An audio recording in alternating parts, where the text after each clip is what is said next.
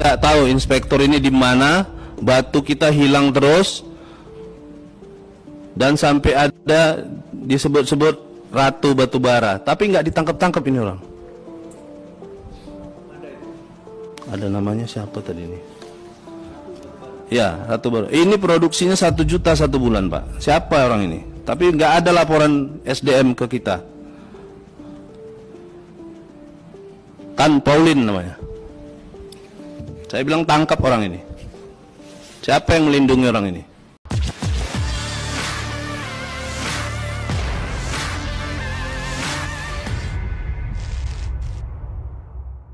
Anggota Komisi 7 DPR RI fraksi Demokrat sekaligus adik dari Nazarudin Muhammad Nasir membongkar sebuah fakta tentang batu bara Indonesia. Pengakuannya tersebut viral di media sosial, salah satunya diunggah di akun Instagram @terangmedia Sabtu 15 Januari 2022. Pada video yang beredar nampak Nasir berada dalam forum rapat kerja Komisi 7 DPR RI Kamis 13 Januari. Ia pun mengungkapkan bahwa terjadi permasalahan dalam pengawasan tambang batu bara di Kalimantan Timur, Indonesia. Pasalnya ia menyebutkan terjadi pencurian batu bara dan dijual ke luar negeri yang angkanya tak sedikit. Masalah pengawasan tambang saya tidak tahu inspektor ini ada di mana. Batu kita hilang terus dan sampai ada disebut-sebut ratu batu bara tapi nggak ditangkap-tangkap ini orang. Tan Paulin namanya, ujar Nasir dikutip dalam video yang beredar nggak tahu inspektor ini di mana batu kita hilang terus dan sampai ada disebut-sebut ratu batu bara tapi nggak ditangkap-tangkap ini orang. Ada namanya siapa tadi ini? Ya satu baru ini produksinya satu juta satu bulan pak. Siapa orang ini? Tapi nggak ada laporan SDM ke kita. Kan Paulin namanya. Saya bilang tangkap orang ini. Siapa yang melindungi orang ini? Nyuri pak batunya. Ini batu curian, tapi bisa di luar, dijual ke luar negeri.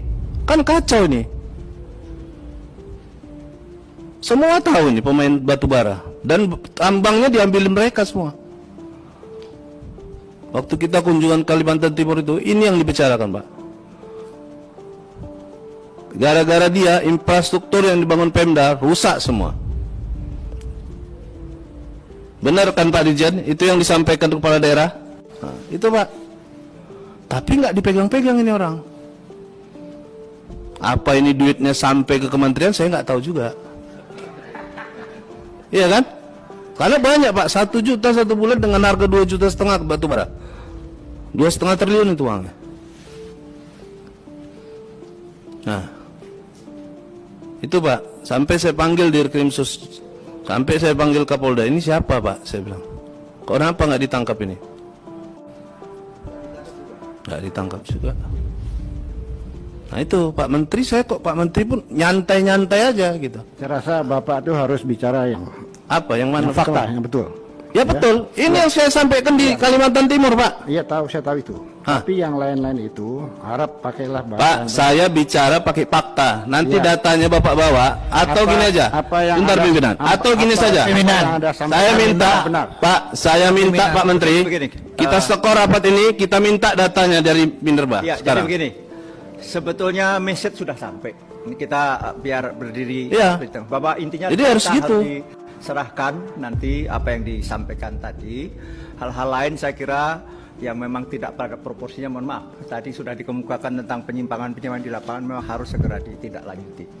Ya, makanya pimpinan. Ya. Jadi kalau rapat kita minta semua Mbak data. Saya tahu Pak perusahaan mana aja, tapi Bapak keluarkan datanya. Saya ada datanya. Saya sebelum bicara di sini, saya udah minta dengan Direktur Minerba yang sudah Bapak ganti. Itu udah sama saya datanya. Jadi saya tidak bicara apa adanya gitu. Dan saya sampaikan di sini perusahaan-perusahaan yang produksinya di atas 5 juta yang tidak mengirimkan demo.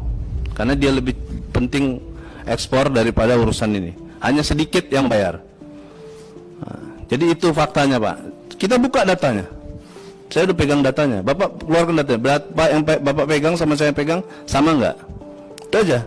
Jadi biar jelas gitu loh. Nah. Bisa saya sambung? Pimpinan